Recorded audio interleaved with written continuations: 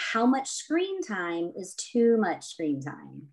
Okay, a popular one given the current state of the world, also. So, know that everything that I say is based off of research and development and not meant to um, parent guilt in any way because I know that special circumstances exist in, in today's world. But um, the American Academy of Pediatrics says anything up until eight months, 18, I'm sorry, 18 months of age, we should not be having screen time. It really not just limits verbal output, meaning if a child is interacting or, I'm sorry, passively watching TV, they don't get the, the opportunity to communicate or practice their communication skills with you.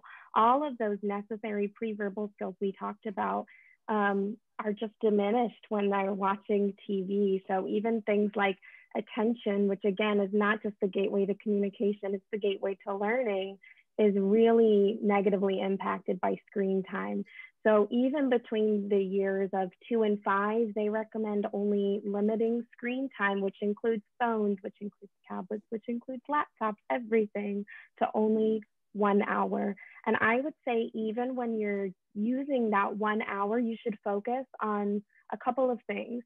You should focus on keeping it minimal. You should be watching and being mindful of the time, making sure you don't go over an hour.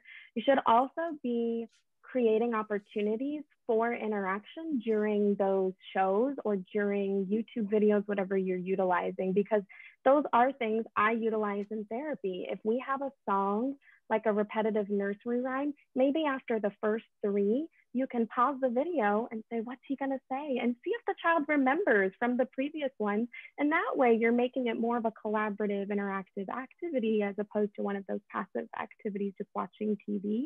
And you can also do your best to try and avoid academic based programming. Academics are mm-hmm. extremely important, but really those children are going to get those academics in school.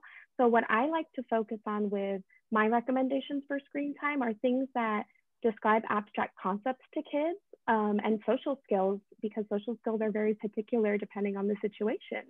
So if you can find episodes about kindness, about resiliency for your child, not only are you building their communication, but you're building their overall well-being and development as a person because you're giving and introducing those abstract concepts in a way that is palatable to them and from a very young age and that they can take with them as they develop? Yeah, that's a tricky question.